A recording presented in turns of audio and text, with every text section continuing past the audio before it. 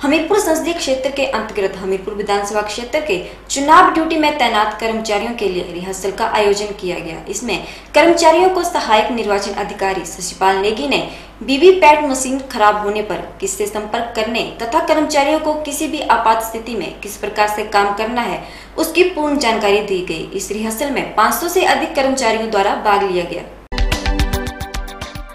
हमीरपुर संसदीय क्षेत्र के अंतर्गत आज हमीरपुर विधानसभा क्षेत्र के चुनाव ड्यूटी में तैनात कर्मचारियों के लिए आज रिहर्सल का आयोजन किया गया। इसमें कर्मचारियों को सहायक निर्वाचन अधिकारी शशिपाल नेगी ने वीवीपैट मशीन खराब होने पर किससे संपर्क करने तथा कर्मचारियों को किसी भी आपात स्थिति में किस प्रकार से काम करना है, उसकी पूर्ण जानकारी दी गई। इस रिहर्सल में 500 से अधिक कर्मचारियों द्वारा भाग लिया गया। इस अवसर पर सहायक निर्वाचन अधिकारी शशिपाल नेगी ने बताया कि यहाँ दूसरे दौर की रिहर्सल पोलिंग पार्टियों को करवाई गई, तथा हमीरपुर 38 विधानसभा क्षेत्र में अठानवे पोलिंग बूथ है, तथा 114 पोलिंग पार्टियों को तैनात किया जाएगा। उन्होंने बताया कि यहाँ दो चरणों में कर्मचारियों को प्रशिक्षित किया जा रहा है। एक तरफ़ कर्मचारियों को चुनाव प्रक्रिया की जानकारी दी जा रही है, तथा दूसरी तरफ़ समानांतर तौर पर वीवीपैट और ईवीएम की जानकारी कर्मचारियों को दी जा रही है।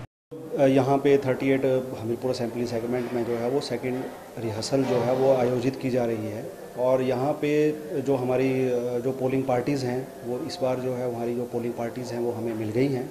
टोटल 114 पोलिंग पार्टीज़ हमारे पास यहाँ ट्रेनिंग के लिए आ जाई हैं। और हमारे 93 जो हैं वो पोलिंग स्टेशंस यहाँ पे हमीरपुर 38 असेंबली सेगमेंट में हैं। और इनको जो है यहाँ पे जो हमारी ट्रेनिंग है, वो दो दो सेशंस में करवाई जा रही है। एक सेशन में पोलिंग पार्टीज़ को डिवाइड करके एक हॉल में जो है वो प्रोसीजरल पार्ट के ऊपर जो है वो इनको बताया जा रहा है कि किस तरह से जो है वो कौन कौन सी प्रोसेस कैसे होनी है। जैसे इलेक्शन का मटेरियल कलेक्ट करने के बाद से लेके पूरा मॉक पोल पोलिंग कंडक्ट करवाने के बाद जो हमारा कलेक्शन सेंटर है, वहाँ पे पूरा इलेक्शन मटेरियल जमा कराने तक का जो छोटी छोटी बातें हैं, चीज़ें हैं, जो प्रोसीजर्स हैं, उसके बारे में इनको बताया गया। और साइमल्टेनियसली जो हमारा दूसरा हॉल है, वहाँ पे ईवीएम और वीवीपैट को की जो है, वो हैंड्स ऑन ट्रेनिंग जो है, वहाँ पर चल रही है।